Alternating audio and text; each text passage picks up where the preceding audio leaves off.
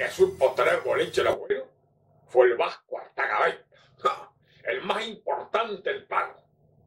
Era machazo. Había que retillar mercadería. Para todos los gustos. Pero no era fácil entrar al Vasco. Duro, parqueado. Con decirle que ni la madre le daba crédito. Por eso sí, sucio para la higiene personal. Daba lástima. Soltero el Vasco, soltero. No había china que se le arrimara. Y eso que tenía vagones de plata, con decirle que pagaba el sueldo de todos los empleados de las estancias, todo alrededor. Después los de estación arreglaban con él, con la lana, con la carne, con lo que viniera. Claro, él pagaba, pero le descontaba los gastos que habían hecho todos en el boliche. Ah, sí. Había habido un casamiento en el pago del estanciero Romualdo Leme Soria, el mayor, que se casó con la Brígida López Pereira, también la mayor. El vasco fue el encargado de suministrar la mercadería para consumir en el casamiento. La mortadela, el salchichón, el vino, la naranjita rocha, que había que hacer un viaje expreso a Bichón para traerla. Pero era rica la naranjita, que la parió. Era rica, se había pasado rocha. Y era el pago no como la coca, que es norteamericana. había que ser criollo, carajo, había que ser criollo. La naranjita con vino, qué cosa rica, que la parió. mucha gente invitada. De la capital, unos cuantos, y entre ellos una mina que estaba buenas, se partía de buena, que la parió, qué rubia que estaba insoportablemente buena, la mía. A todos les sonreía, ah, porque tenía el proyecto de volverse casadito con novio, por lo menos para Montevideo. Las sonrisas y caídas de ojo eran para todos. Con decirle que hasta el vasco ligaba, ah, y eso que andaba normal nomás, o sea, sucio. Normal, sucio. Ligó sonrisa y caída de ojo de la bestia. ¡Oh! ¡Qué la parió que estaba buena la rubia! ¡La mía! El vasco te empezó a hacer el bocho. Soltero, con 42 años. Carretilla de plata. Un comercio que funcionaba solo. Tenía la edad ideal para casarse. Pero no todas buenas. no eran todas buenas para el pobre vasco.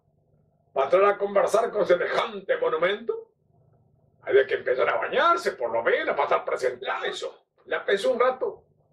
Y después pidió consejo a sus amistades que estaban en el casamiento. A ver si valía la pena el sacrificio. Todos dijeron que sí. Aparte lo quieren limpio y peinado. no habiendo más remedio, y aconsejado por unanimidad, un vio para su boliche que tenía la casa al costado y agarró para el baño. Mi Dios. Tenía un aparato ahí con una lluvia, agua fría únicamente. Era un balde con una cosita que caía para abajo así. Una lluvia, era buena para que lo usaba el vasco, no usaba nunca. Se sobraba. Agarró un jabón perfumado del estante y abrió la canilla. ¡Qué la parió que estaba fría! ¡La mierda! Había que ser valiente para bañarse. ¡La mierda!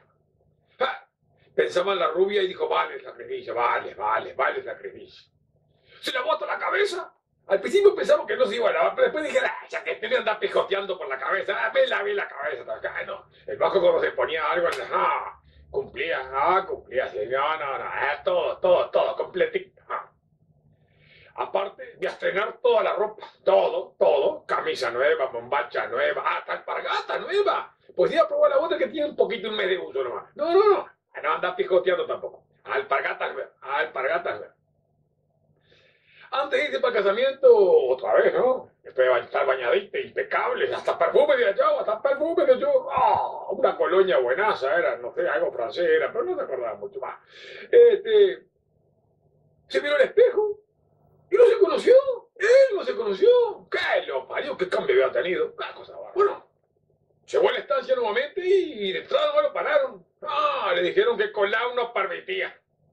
El vasco se deshacía en explicaciones que lo que pasaba que estaba bañado nomás. Hubo que llamar al dueño de la fiesta. Lo pusieron de, de perfil, de costado, de medio perfil, hasta de nunca, lo pusieron hasta de nunca. Pero nadie se la jugaba. Nadie se la jugaba. ¿Con qué ese hombre era el vasco de todos los días? Bueno, Al final, por aburrimiento y un leve parecido con el vasco, lo dejaron pasar. Entró para el patio grande y la rubia, muy solicitada también, lo desconoció. ¡Ah! Parecía la abeja reina la rubia, ¡Ah! rodeada de zánganos. Vea.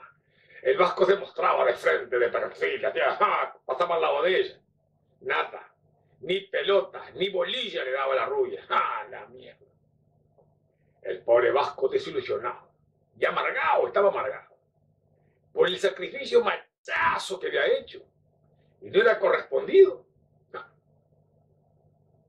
Agarró el caballo y fue nuevamente para las casas. Abrió el boliche. Se puso a utilizar la lebreta, que dentro de poco era día pago. ¡Pobre Vasco! Todo el sacrificio al pedo. Pero al final empezó a conformar. Sacó las cuentas. Sacó las cuentas.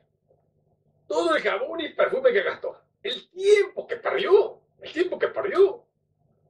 Y la rubia que no tenía pinta de ser muy barata de mantener, mucho mejor se juntaba con la chinita que le barría el boliche una vez por semana.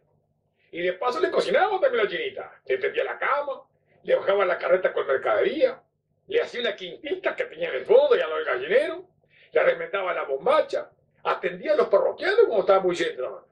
Lleno, atendía parroquianos también. Les llevaba mate, hacía pan casero buenazo, estaba rico las tortas fritas. ¡Pah! de primera era.